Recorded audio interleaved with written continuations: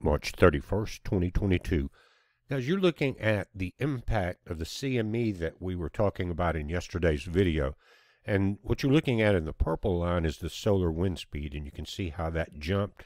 The plasma density in the orange above it jumped, and the temperature, which is in the green, jumped. When the wind, it's a, it's like a friction. The faster that wind speed, the more charged um, particles are involved in the density of it, and the temperature rises. Now it jumped from 423 right there very quickly to over 500 kilometers per second. That's very fast. But notice it happened. If you look at the timestamp at the bottom, just after midnight last night, Universal Time. And so I mentioned uh, in the video that to watch for the quakes, and that's exactly what we saw. Notice this is um, the 31st 044. That means 44 minutes after midnight Universal Time. Both this map and the solar wind map are Universal Time.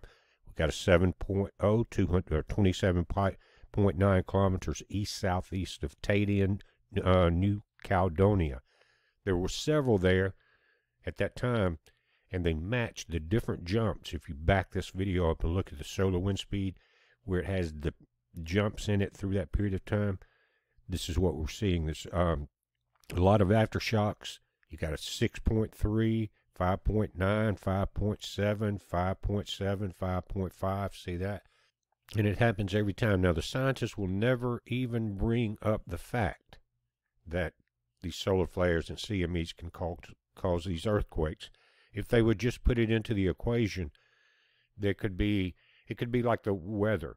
You know, the weather could mention, okay, guys, we got a solar flare and you could have some quakes because of the pressure that's put on our shields. But another strong solar flare, this happened today, was just, it bumped the bottom of the X flare line. It was a 6.9 M. And here's what it looked like. Notice uh, the, you've got two days ago, or yesterday and today in this white bar graph.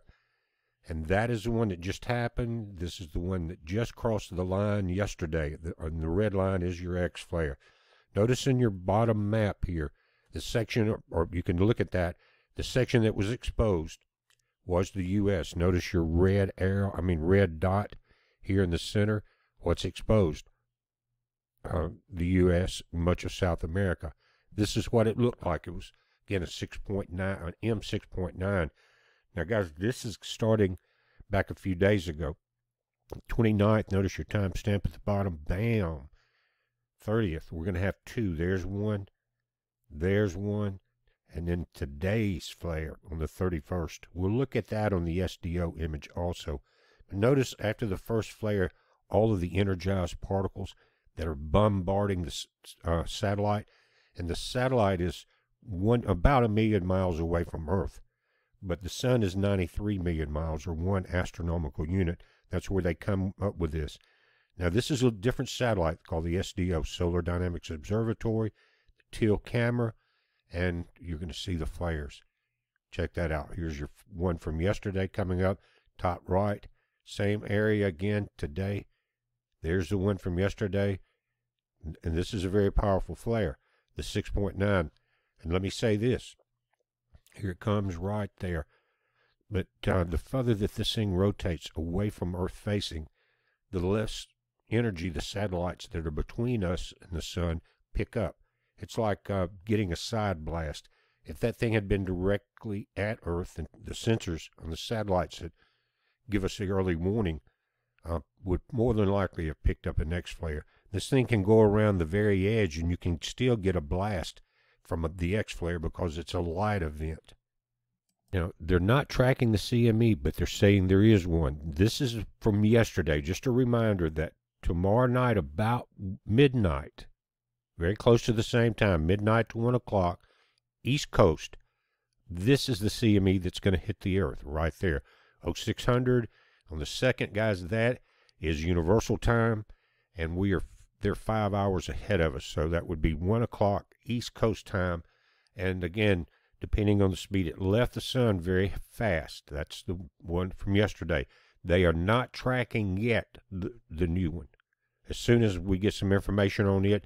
But more than likely, from satellite indications, it is Earth facing because you can kind of tell from the location. But we'll know more about it when that is updated. Just wanted to come in there and mention it. It seems like the sun is really waking up. We're into the uh, entry of solar cycle 25. They're basically 11.8 years long, so it rises in intensity for half of that period and declines in intensity into the next dip, and then it will rise up into solar cycle 25. And by the way, guys, that corresponds with the orbit of Jupiter, which uh, I I have determined, and I'm not uh, the expert, but I think it uh, is the sun's binary twin. It's a failed gas giant. And if you read the ancient literature, guys, and you hear a lot of, and I'm going to call it crap. And I'm sure some people will take offense, but sometimes you got to wake people up.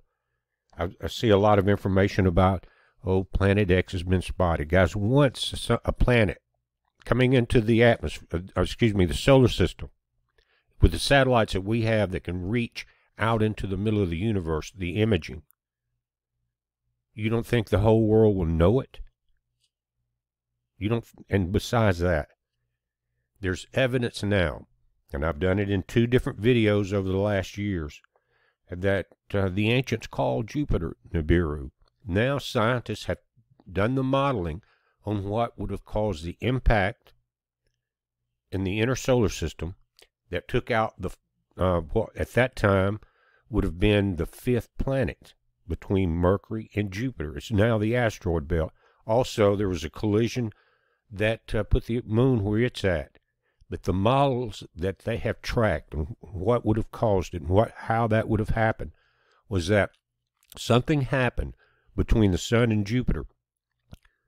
Jupiter does not rotate around the center of the sun like we do. The grip from kind of the center of the sun's where everything's tied in, and you've got your Earth Sun magnetic connectivity points. All the planets do, but Jupiter, it's so large that the the sun and it almost rotate around each other. In other words, there's a point outside of the sun, not on the surface, that is the center of the Jupiter and Sun's rotation. That's how strong it is. But something happened, and uh, it was it and Saturn was pulled closer into the sun.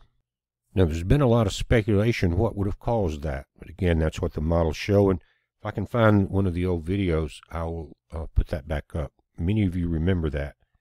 But uh, if I had to speculate, and that would be all it would be, uh, I would say that the sun was strengthening. It was getting more powerful. Its its magnetic shield is called the heliosphere. Just like the Earth has the Earth shields, our magnetic our magnetosphere, the heliosphere encompasses the solar system. Okay, it protects a lot of the solar system from external cosmic rays events like that, gamma ray burst. It helps protect that. But the sun weakens, the heliosphere shrinks. When the sun is in a in the uh, peak of these solar cycles, which are declining, that's why it's called grand solar minimum, the sun is strengthening. And did it strengthen to the degree that its gravity pulled in those planets? Was it going through some kind of nova phase? Who knows? But that's what the models are showing. But I've yet to see an image that wasn't a sun flare or lens flare, excuse me, uh, from a camera. And if you can see it with a cell phone camera, you could see it with the naked eye, guys. And um, it's just time, for, you know, it always, I mention this about once a year, I think. And it always um, uh, ticks off a lot of people. But the truth is the truth. Have you guys, do you realize if there was something in the solar system, it couldn't be hidden? There's too many independent astronomers. They photographed Jupiter. They photograph uh, Saturn. Some are totally independent from the uh, big observatories and the colleges and things like that that do this, and it would be out.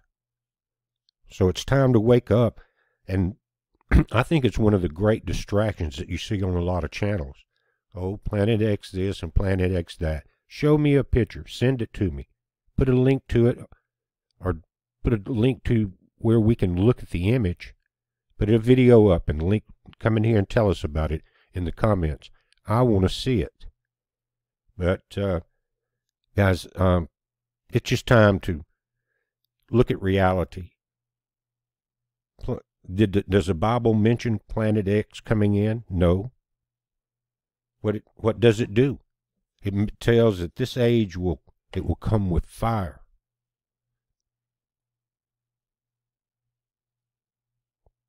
That's what you need to worry about, not a Planet X that is uh, has no basis of truth behind it at all. It's been going on way too long. But guys, we're watching this again tomorrow after midnight, sometimes into the second. Early second is uh, supposed to be the this impact from the uh, new solar flare. So we're going to have to pay attention to it because it's obvious that it can cause strong quakes, these type of events. We're watching it. You watch it. It's a heads up. Be safe.